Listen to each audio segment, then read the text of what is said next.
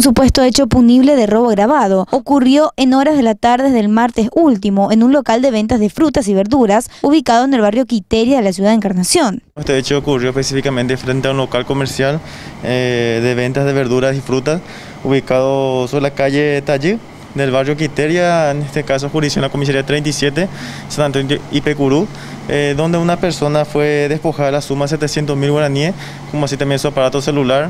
Resultó víctima el señor Ever Pedro Riquelme López, paraguayo soltero de 37 años de edad, domicilio en citado lugar y es propietario de dicho local. ¿Fueron los hechos eh, que, que pudo manifestar la víctima? Sí, según este, esta persona se encontraba frente a su local comercial sentado específicamente en la vereda, momento que llegaron dos personas de género masculino con arma de fuego en mano, tapabocas y casco protector, eh, del cual uno descendió y como he dicho con arma de fuego le, le intimó ¿verdad?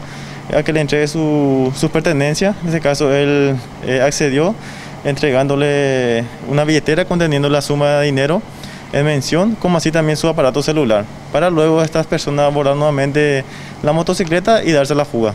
¿La característica de la motocicleta o de las personas no se llegó a, a recabar? Sí, la característica en este caso eh, de la primera persona eh, utilizaba una camisa color negro, un pantalón jeans eh, con casco protector negro y tapaboca, ¿verdad? La segunda persona también con las mismas descripciones.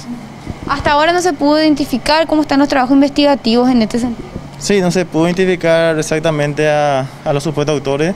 También eh, este local no cuenta con circuito cerrado, el cual le podría facilitar el trabajo al personal interviniente. Los supuestos autores son dos personas de género masculino quienes estaban con arma de fuego a bordo de una motocicleta. Los mismos se alzaron con la suma de dinero en efectivo de 700 mil guaraníes y un aparato celular de la marca Samsung.